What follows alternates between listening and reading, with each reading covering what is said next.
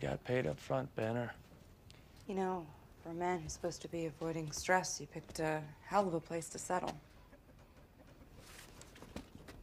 Avoiding stress isn't the secret. Then what is it? Yoga? You brought me to the edge of the city. Smart.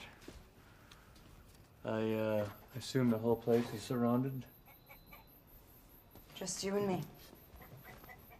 And your actress buddy? Is she a spy too? They start that young? I did. Who are you? Natasha Romanoff. Are you here to kill me, Miss Romanoff? Because that's not gonna work out for everyone. No, no, of course not. I'm here on behalf of S.H.I.E.L.D. Shield. How'd they find me? We never lost you, Doctor. We've kept our distance. Even helped keep some other interested parties off your scent. Why? Nick Fury seems to trust you. But now we need you to come in. What if I say no? I'll persuade you. And what if the other guy says no? You've been more than a year without an incident. I don't think you want to break that streak. Well, I don't every time get what I want. Doctor, we're facing a potential global catastrophe. All those I actively try to avoid.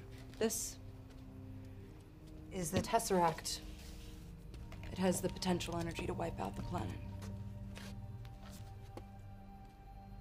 What does Fury want me to do? Swallow it? He wants you to find it. It's been taken. It emits a gamma signature that's too weak for us to trace. There's no one that knows gamma radiation like you do. If there was, that's where I'd be. So Fury isn't after the monster. Not that he's told me. And he tells you everything. Talk to Fury. He needs you on this. He needs me in a cage. No one's gonna put you in. Stop lying to me!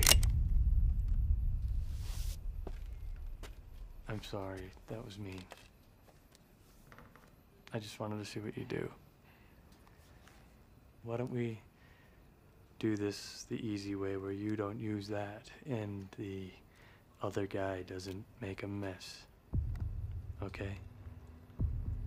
Natasha.